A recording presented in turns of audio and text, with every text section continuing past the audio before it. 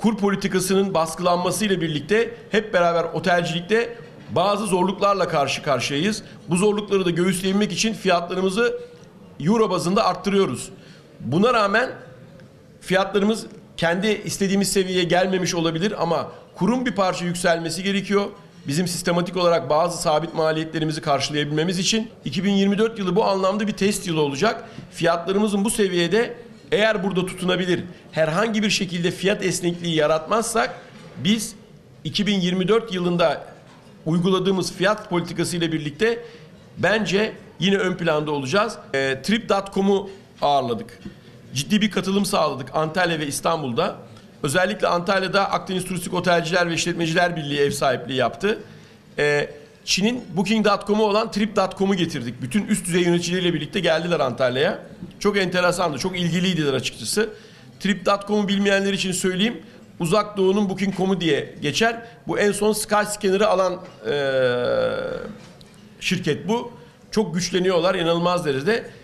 Ben özellikle kültür turlarında ve şehir operasyonunda Çinlilerin ciddi anlamda bir e, kaynak pazar olacağına eminim. Dünyada öyleler ama bizim için de o hale gelecekler en kısa sürede.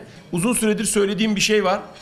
Bir kez daha tekrar edeceğim. İkinci kez duyanlardan özür diliyorum ama Avrupa Birliği pandemi döneminde çok iyi bir sınav vermedi ve sonrasında muhakkak turizm hareketinin kendi üyesi olduğu ülkelerde devam etmesini arzu ediyor. Bununla ilgili regülasyonlar, bununla ilgili kanunlar, bununla ilgili sübvansiyonlar çıkarıyor ortaya. Bu bizim önümüzde yarın öbürsü gün bunları önceden görüp ona göre hareket etmezsek bizi zorlayacak şeyler bunlar. Kızıldeniz'e muazzam bir tesis kapasitesi yüklemesi yapıyorlar. İnanılmaz bir turizm yatırımı yapıyorlar. Burada eee, TDF dedikleri Tourism Development Fund yani turizm gelişme fonu kurmuşlar. Bu fon buradaki yatırımların neredeyse yüzde yetmişini destekliyor. Çok az bir faizle buraya çok büyük bir destek veriyor. Ee, Suudi Arabistan bu konuyla ilgili belki bize rakip değil ama o bölgedeki özellikle biraz sonra da bahsedeceğim Orta Doğu turizmi içerisinde çok ciddi anlamda bir yer edinecek kısa sürede diyebiliriz. Öyle bir söylevde bulunuyoruz ki sürekli bir istihdam problemi varmış gibi turizmde. Arkadaşlar turizmde istihdam problemi yok. Bizim yönetme problemimiz var.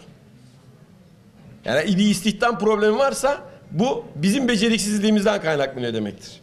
Pandemi döneminde istihdamın bir kısmını kaybettik. Bunu aldık. Yani şimdi böyle her söylevde yani çalışan arkadaşları demoralize etmek bizim ne işimize yarayacak? Yani turizmde sürekli bir istihdam problemi var. İstihdamın yönetimi problemi var. Bunu kabul edelim ne olur rica ediyorum sizden.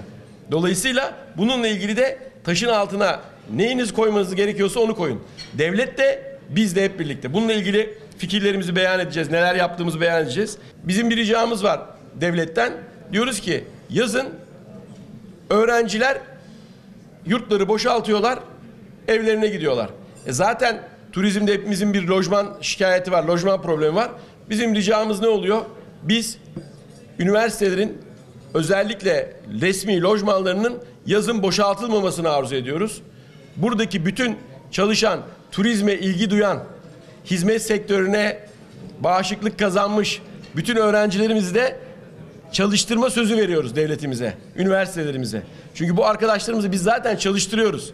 Çok memnunuz ama eğer konaklama imkanları da olursa bizim için çok daha büyük bir imkan olur. Burada yüksek sezonumuzu buradaki bu kaliteli iş gücüyle birlikte geçebiliriz. Sürdürülebilir ve çevre dostu seyahat seçeneklerine giderek daha fazla öncelik verilmesi, karbon ayak izini azaltan uçuşlar, yeşil konaklama ekolojik açıdan bilinçli turist faaliyetleri seyahat tercihlerinde belirleyici rol oynamaya başladı. Bu herhalde önümüzdeki kısa ve orta vadede devam edecek gibi gözüküyor. Uzun vadede zaten tamamen bizim en fokuslandığımız konu olacak. Çünkü artık sürdürülebilirlik işin temel felsefesi oldu.